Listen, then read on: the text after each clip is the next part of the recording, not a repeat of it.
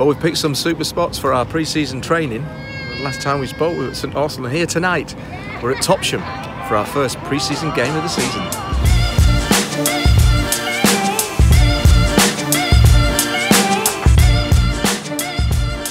Um, thanks to Topsham for uh, hosting us tonight, um, and I'm sure the light will hold. It's a seven o'clock kickoff, um, and it's and it's a real important important game. Get little bit of game time under the belt for for all the players.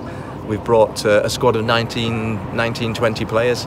and there are four or five that's, that's unfortunately um, still with the injury. Your Joshua Story, Scotty Beatties that are be behind at the moment, um, and they've got to come into it. And uh, with the Harrison Jewell as well is, is the way. But then we've got uh, availability with just a couple of others, Kai Cornish and Matty Buckham working. But we've got a, a very, very strong squad that will come up here. We'll play it. The guys will get at least 40, 45 minutes. Um, that's the that's the intention, um, and um, it's just to get a lot of game time. Just the start of the game time under the under their belt, into their legs. Um, and Topsham have um, have have signed very well this this year. They've they've they've pulled a, quite a few name players in. But it's an important game for us tonight to get a number of minutes under the belt, um, and then we move on to the the bigger um, and more important games still to come.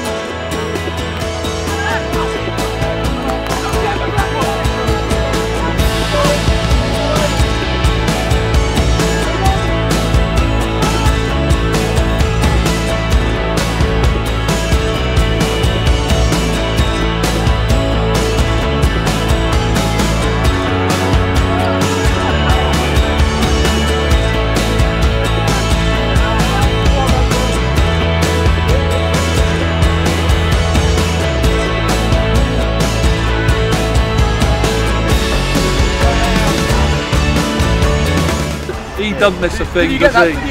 He's on it. He's on it.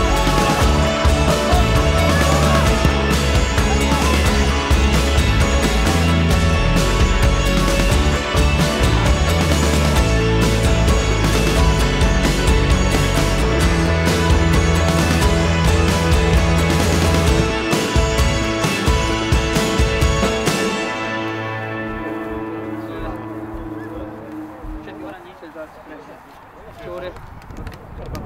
We have a that, all right?